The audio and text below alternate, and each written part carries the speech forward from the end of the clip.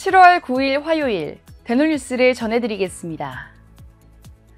보건복지부 제2차 아동치과 주치의 건강보험 시범 사업이 시행되고 있는 가운데 시범 사업인 만큼 본 사업에 앞서 대대적인 개선이 필요하다는 주장이 제기되고 있습니다.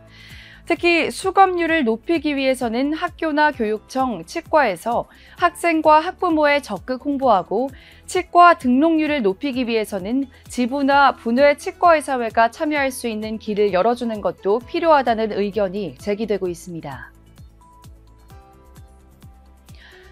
대한치의학회가 지난 2024 회계연도 첫 이사회를 개최하고 분과학회 협의회 재개를 결정했습니다. 분과학회 협의회는 오는 8월 31일 서울대 치과병원에서 개최되며 보수교육과 심포지엄, 학술지 편집인 협의회 등도 함께 진행될 예정입니다. 경기도의 구강 건강관리 현황을 파악하고 개선 방안을 모색하는 제1차 찾아가는 복지정책 포럼이 개최됐습니다. 이번 정책 토론회는 경기도 치과의사회와 경기도의회 보건복지위원 등이 함께 참석한 가운데 진행됐습니다. 특히 경치 이선장 부회장이 경기도 치과 주치 사업의 발전 방향 토론에서 이 사업이 경기도민의 구강 건강을 증진하기 위한 중요한 사업이라고 제시해 온오프라인 참석자의 큰 관심을 받았습니다. 대한치매구강건강협회 임지준 회장이 4일 사단법인 한국노인장기요양기관협회 박원 회장과 간담회를 갖고 치매 장기요양 어르신의 구강건강 증진 방안에 대해 논의했습니다. 이 자리에는 치구엽 정주화 이사와 노인장기요양기관협회 서일홍 기획실장, 함천우 사무총장도 함께 현안에 대해 의견을 나눴습니다.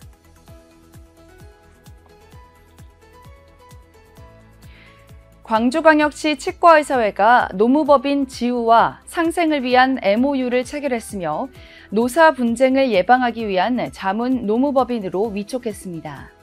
노동법 및 노무관리 교육, 상담 등의 무료 서비스를 제공하고 별도의 컨설팅 및 노무관리 아웃소싱 서비스의 제공 계약을 통해 건전한 노사 문화를 확립하기 위해 상호 노력하기로 협약했습니다. 대전시는 7월부터 제2차 아동치과 주치의 건강보험 시범 사업을 추진한다고 밝혔습니다.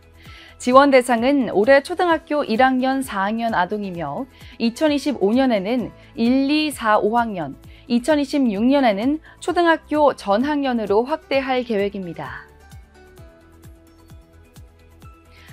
양주시 구강보건센터에서 다가올 여름방학을 맞이해 온 가족이 함께 참여할 수 있는 2024년 구강건강 프로그램을 운영합니다. 이번 프로그램은 관내 주민등록을 둔 초등학생과 학부모 및 보호자 동반의 가족 참여형으로 운영되며 운영 기간은 오는 29일부터 8월 23일까지입니다.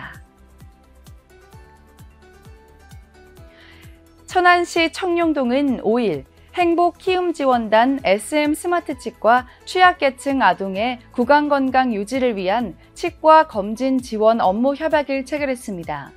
이번 협약을 통해 SM 스마트 치과는 취약계층 아동에게 치과 검진을 제공하고 검진 결과에 따라 치료비를 지원해 저소득 가구의 의료비 부담 감소에 기여할 전망입니다.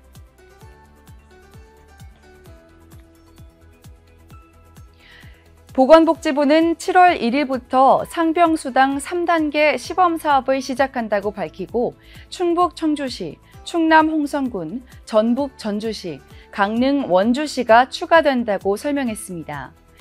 7월 1일부터 시행되는 3차 시범 사업은 취업자 기준을 완화하고 소득과 재산 기준을 적용하던 것에서 재산 기준을 폐지했으며 최대 보장일수를 30일을 더 연장해 최대 150일까지 보장됩니다.